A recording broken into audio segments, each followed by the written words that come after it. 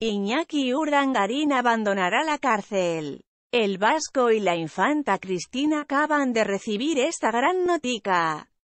Y es que el exduque de Palma dejará próximamente la prisión de Brieva y disfrutará de un régimen de semilibertad en un centro de reinserción social en Alcalá de Henares. Después de que la audiencia de Palma tumbéis la posibilidad de un tercer grado penitenciario en varias ocasiones, Urdangarín ha conseguido acariciar la ansiada libertad. Esta noticia llega cuando acaba de cumplir dos años y medio en prisión, casi la mitad de la pena a la que fue condenado por el caso NOS, cinco años y diez meses de cárcel. El resto de la condena la cumplirá en un centro de reinserción social, donde tendrá que someterse a un programa específico para presos por delitos de tipo económico. Además, el marido de la infanta continuará con su trabajo de voluntario en el hogar Don Orión, donde pasará a desarrollar su labor de lunes a viernes cuando hasta ahora asistía solo tres días a la semana. Tendrá que volver al centro a pernoctar cada noche, y podrá disfrutar de un fin de semana de libertad al mes. Por último, tendrá que reunirse con víctimas de corrupción.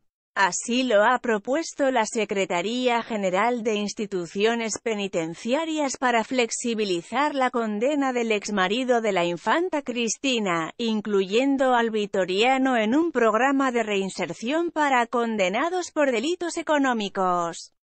Es decir, que Urdangarín mantendrá el segundo grado penitenciario, no el tercero, que supondría disfrar de 48 días de permiso al año, pero aplicándole el artículo 100,2 del reglamento penitenciario, flexibilizando su condena pero sin progresar de grado. Si el cuñado del rey Felipe se somete a este programa de rehabilitación para presos condenados por corrupción, podrá disfrutar de un fin de semana en casa al mes. El fin de este programa que se aplicará a Urdangarín, PIDC o que instituciones penitenciarias impulsó el pasado mes de noviembre, es su reeducación en aquellos factores personales que favorecieron la comisión del delito, además de proporcionarle las herramientas para enfocar su vida en libertad con una actitud prosocial. Ahora queda por saber si el marido de la infanta Cristina acepta esta oferta y cambia la prisión de Brieva por el Centro de Reinserción Social de Alcalá de Henares para cumplir en un